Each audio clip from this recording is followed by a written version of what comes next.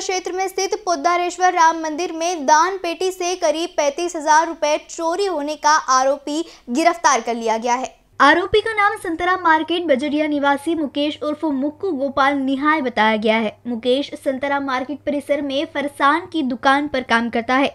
वह शराब का आदि है और वर्ष 2022 में उस पर अप्राकृतिक यौन चार का भी आरोप लग चुका है।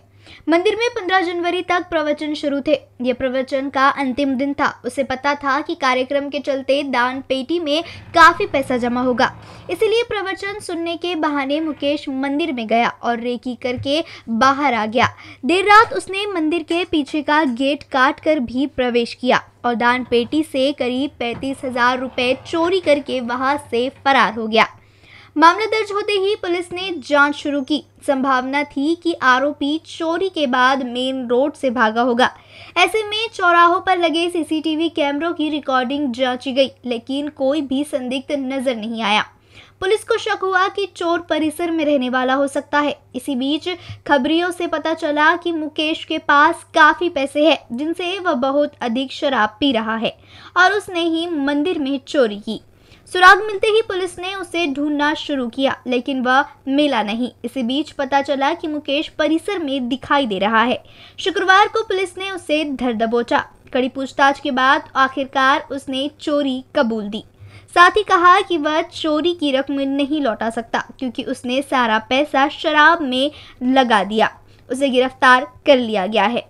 दिनांक पंधरा जानेवारी दोन हज़ार तेवीस रोजी आमच्याकडे गुन्हा दाखल त्या दिवशी रात्रीच्या वेळी रामझुला येथील श्री पोतारेश्वर राम मंदिरामध्ये कडीकोंडा तोडून आतमध्ये प्रवेश करून एका अज्ञात इसमाने मंदिरामध्ये असलेली दानपेटीतील जवळपास पस्तीस हजाराचा रोख चोरून नेली होती. अशा स्वरूपाची एफ आय आर आमच्याकडे दाखल होते. आम्ही तपास करत होतो. तपास करत असताना आम्हाला काही तांत्रिक तपास आणि काही गोपनीय माहितीवरून आम्हाला आरोपीचं नाव निष्फळ झालं. आम्ही आरोपीच्या मागा होतो काही दिवसापासून आणि आम्हाला तशी काल माहिती मिळाली. त्याप्रमाणे आम्ही आरोपीला आम्ही मुकेश उर्फ मुक्कू गोपाल निहाय वय बावीस वर्ष राहणार संत्रा मार्केट आहे.